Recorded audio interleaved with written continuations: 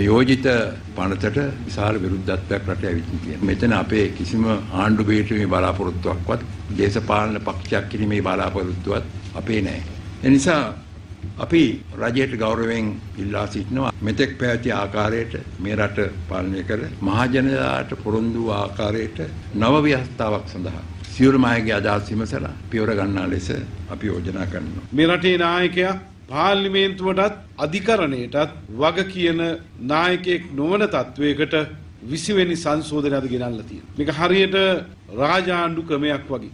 අපි එහෙනම් සියලු දෙනාම විපක්ෂයේ විදියට මේ වෙලාවේ එක්කහු වෙලා මේ රටේ ජනතාවගේ ස්වාධීනත්වයේ ප්‍රජාතන්ත්‍රවාදය ආරක්ෂා කරන්න ඕන විසිවැනි සංශෝධනයේ අම්මෙක් තාන්තික් නැති දරුවෙක් විදියට මේ රට බිහි කරලා තියෙනවා. අද මේ වෙනුව ඊටත් සියලුම ස්වාධීන කොමිසන් රූකඩ බවට පත් කරලා තියෙනවා. මට මතකයි අපේ රජයේ කාලේ മന്ത്രിවරුන්ගෙන් අපිට චෝදනාවක් තිබ්බේ Tamanට ඕන OIC දාලා දෙන්න. Tamanට ඕන DIG දාන්න බෑ. Tamanට ඕන SP දාන්න බෑ. අද මම හිතන්නේ තත්ත්වේ 20 වෙනි සංශෝධනයේ ගේන්න ඉස්සෙල්ලා සම්පූර්ණයෙන් කන පිට හරලා තියෙනවා. 19 වෙනි සංශෝධනය ගෙනාවේ රාජපක්ෂ පවුලට විරුද්ධව. මේ එක දෙයක් තමයි 20 වෙනි සංශෝධනය කරන කට්ටිය කතා කරන්නේ. මොකද්ද ඔය රාජපක්ෂලට විරුද්ධව?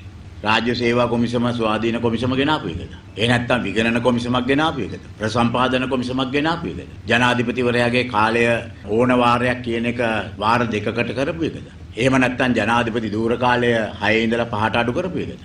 මේවද නැහැ. ඒගොල්ලෝ හිතනවා ඇත්තේ මේ සමහරලාට ද්විත්ත පුරවැසි භාවය. අද විශ්වයේ බලතල නැතුව තමයි කියන්නේ නිවාසාධිකාරියට ගිහිල්ලා චක්‍රලේඛනය පැත්තකට දාන්න. මගේ වචනෙට වැඩ කරන්න. මං හිතන්නේ ශ්‍රී වික්‍රම රාජසිංහට පස්සේ කවුරුවක්වත් ඕක කිව්වේ නැහැ. මොකද සුද්දාගේ ඉන්තිය ගවර්නර්ලත් කිව්වේ නැහැ මං කියන දේ කරපන් කියලා. ඒගොල්ලෝ අන්තිම නරක දෙයට හරි පුරන් අප්පුව එල්ලලා මරන්නේ කියන එකත් ලිඛිතව දුන්නා. මේ රාජසිංහට පස්සේ මේ පළවෙනි වට ලංකාවේ බී වෙලා තියෙන එක්කෙනෙක් මගේ වචන ක්‍රියාගතව කරනවා. විසිවෙනි සංශෝධනය හානුවට කියන කරන අකුලා ගන්න එක. අකුලාගෙන කරුණාකර කියන අලුත් ව්‍යවස්ථාව ගේන්න. ජාතික සංවාදය පටන් අරගෙන එම හන්දි ගානම පාර ගානම කන්තෝරවල පාර්ලිමේන්තුවේ වේදිකාවල සාකච්ඡා කරලා රට ගැලපෙන ව්‍යවස්ථාවක් ගේමු අපි. වන් ෂොට් තීන්දුවක් අපි ගේමු. ප්‍රශ්නයක් නැහැ. නැතෝ මේ එක එක ගේන්න එපා. අපිට අපි විරුද්ධයි මේකට. දිනපතා අලුත් වීඩියෝ සහ ප්‍රවෘත්ති නැරඹීමට ඉහත බටන එක ක්ලික් කර සියත TV සබස්ක්‍රයිබ් කරන්න.